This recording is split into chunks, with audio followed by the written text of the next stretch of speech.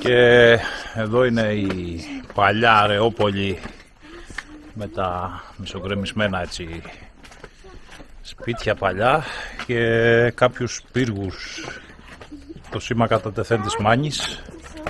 Και βλέπω και ένα κλεισάκι εδώ έτσι βυζαντινό παλιό. Πάω το δούμε κι αυτό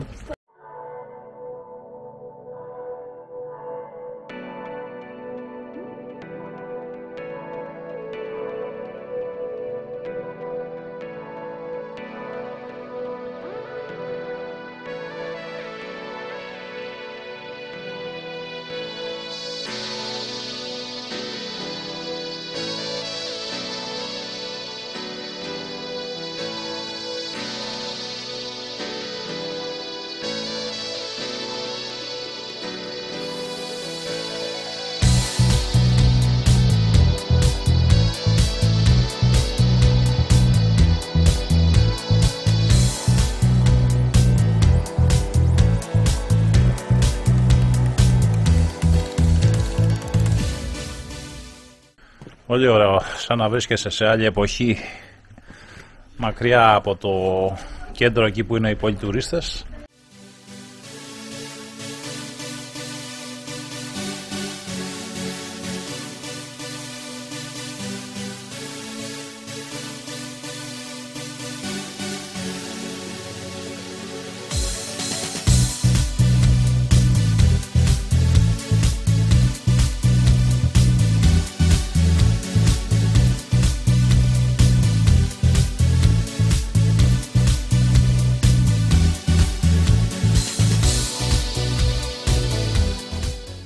Είναι και ωραίο το φως τώρα.